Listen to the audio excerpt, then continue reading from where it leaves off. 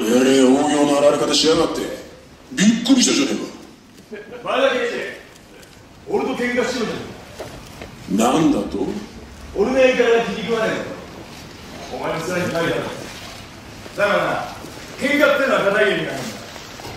俺はそのことを今日に死ぬほど味わった。近藤さんも掃除も。負ければただの友人だ。めんどくせえ野郎だな喧嘩と戦は違うんだ。おめえみたいな素人相手はごめんな。さっさとあの世に帰れ。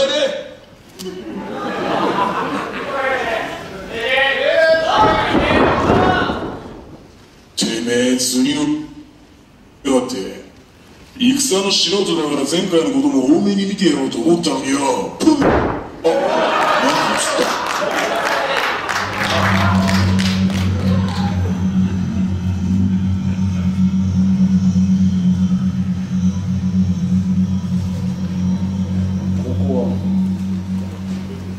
ひ土方連部官よ。この空間は別の連闘場でありお前がおらんと試合を成立せん。試合を裁くのだ